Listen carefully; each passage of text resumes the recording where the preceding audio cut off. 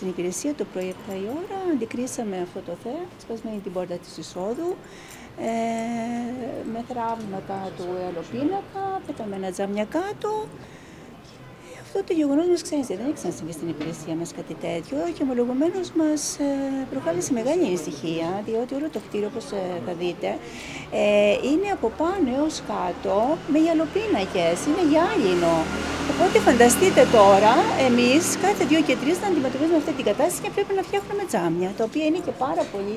Βλέπετε, είναι πολύ, βλέπετε εδώ το μάστορα, είναι πολύ χοντρό το τζάμι, δεν ξέρω πόσα εκατοστά χιλιοστά είναι, κοστίζουν και είναι και επισφυγή υπηρεσία αυτή τη στιγμή. Δεν βρήκατε στιγμή... κάτι όμως; Δεν βρήκαμε, όχι, κάποια προκήρυξη, κάτι δεν βρίσκαμε. Δεν βρήκαμε. Τέτοιες κακόβουλες ενέργειες ε, σας βάζουν σε ανησυχία ώστε να ε, δεν μας βάζουν σε ανησυχία, δεν είχαμε κάτι προηγούμενο, κάποια έστω, κάτι που να δείχνει μια τέτοια ενέργεια. Δεν μπορούμε δηλαδή να, να κατευθυνθούμε κάπου και να πούμε ότι αυτή, ίσως αυτή, ίσως εκείνη, αυτό δεν, το, δεν μπορούμε να το πούμε. κατά το παρελθόν είχατε Κατά το παρελθόν όχι ποτέ. Εμείς εδώ σε αυτό το κτίριο είμαστε από το 2018. Ε, είναι σχετικά καινούριο κτίριο. Δεν είχαμε ποτέ τέτοιες ε, ενοχλήσεις και προβληματιζόμαστε πραγματικά πάρα πολύ.